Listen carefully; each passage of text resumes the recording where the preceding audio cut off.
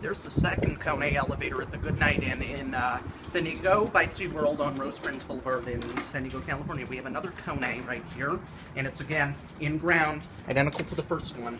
Kone. Here we go. Let's take a ride. Let's go up to level three. Those indicators look US though. I don't know. Maybe this was an Amtech or a US, but this has been modded by Kone. Going up. Density is what? 2,500 pounds again. Expired permit in 2013. Cab view.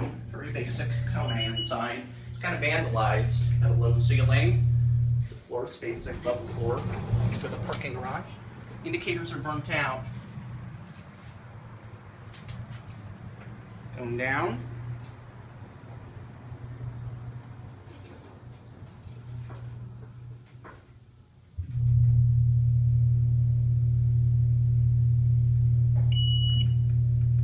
Floor passing chime works. Interesting Coney floor passing chime. I don't know if I've heard that one before. This is again Montgomery Kone from the 90s. All right, we're going back to one. Yeah, I know. I don't think we're gonna get out there. I don't know.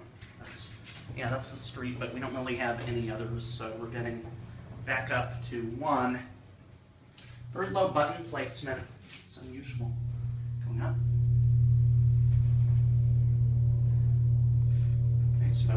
Typical nice Kone motor. I would assume if this was originally an Amtech or a US elevator, the motor was not originally like that. The motor's been replaced by Kone in the 90s.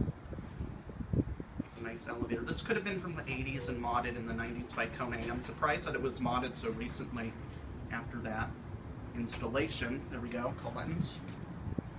Innovation bruiser fixtures. That one's burnt out. And you've got replaced floor plates again. Uh, looks like maybe ThyssenKrupp might have replaced those. Or now they look identical to the one in the Ultra Zone, So Kone replaced the floor plates and fire escape sign. That's it.